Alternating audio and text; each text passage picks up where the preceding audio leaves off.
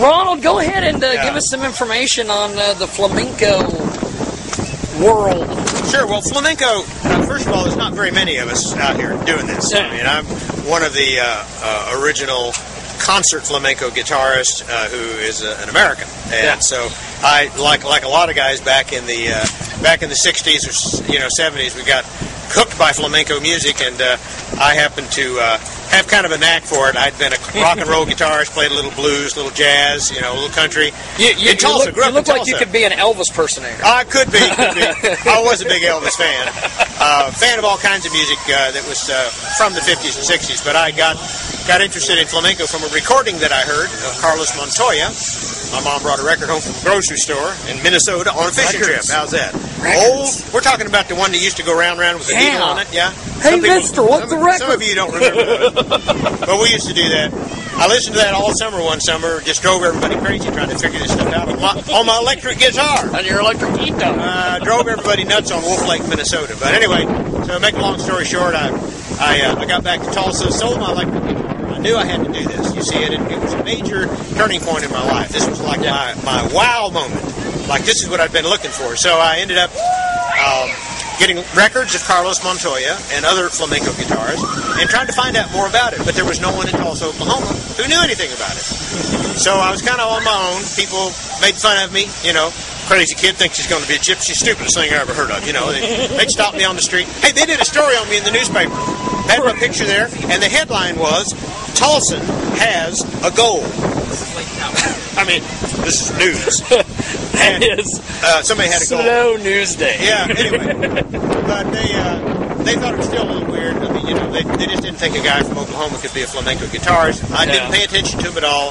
I was operating from my heart. This is something I love to do.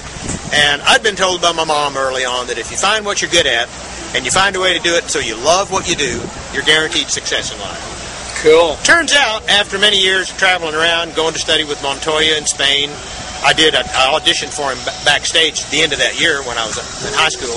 Yeah. I just got my fifteen dollar pawn shop guitar and uh, playing flamenco on it, and uh, so he invited me to come on to New York City after he heard me play. So I went on to New York City and studied with Carlos Montoya for a couple years off and on. That Uh, must have been just Had all those guys, Sabicas and Mario Yeah. Escudero and all those guys. And then I played after two years of working really hard, eight to ten hours a day, maybe sometimes 12 hours a day. I practiced.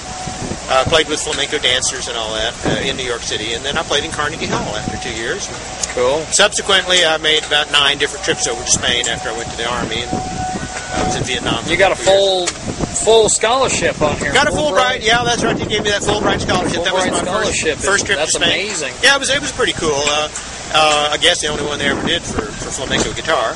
So naturally, I was very uh, grateful for that. Traveled all over Spain and kind of immersed myself in the culture with the wisdom of those old Spanish gypsy guitars, and really got into the culture and lived it. Really lived Now the you life. played Carnegie Hall, the Washington Center, all all sorts of places. I've been I've been around the world, about 15 countries. I played. I played in all major major universities throughout the United States, and uh, still pretty much uh, do most of my performing in the U.S. still right now, and uh, a lot of. Of uh, performances for college. You've been to. Switzerland. I played a concert in Switzerland. Yeah, as a matter of fact, yeah, that was a, that was a that was a cool one. I'll be telling some of those stories at the concert tomorrow night at six o'clock over at the Gretz Law Arena.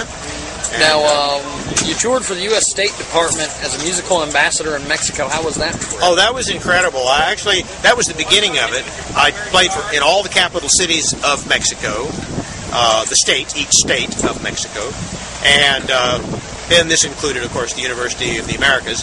But while I was on this tour, people started noticing what I was doing, and there's this guy from Oklahoma that plays real flamenco music and speaks fluent Spanish, and so they picked up on it and turned me into the ambassador. I went on down to all the Latin American countries, all the way down to Panama, played concerts for the universities, and uh, had a great time. Really, uh, got some of my.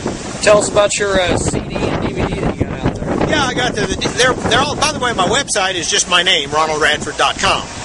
Cool. So check out my uh, website, or you can just go Ronald Radford uh, Flamenco on YouTube, and you can hear a dozen or so of these hot uh, videos that are up now. Uh, but the, the the audio track for a lot of those little uh, slideshow videos is from this CD called Viva Flamenco, and it's available. You can order it directly on my website again, RonaldRadford.com. the DVD was recorded a couple years ago. It was a live concert. It was recorded, you know, uh, with five cameras and you know, really professional deal. Uh, me telling all my stories, you know, the whole nine yards. And that DVD is available also through my website. You can order these through major stores as well, but most people just get it directly from the website. Yeah. So now, uh, before I let you go, uh, you told a little bit of story up there that I think tugged at a lot of people's heartstrings. Mine, at being a, a media person, this uh, the impact of Sam Brownback and people basically getting rid of the arts, trying to get rid of the arts. They're not trying to get rid of the arts. They were just running scared. They were just running scared of a short budget, and uh, they're the kind of people who don't necessarily value either the cultural enrichment and preservation of our culture and the, the values of our civilization that are contained in the arts.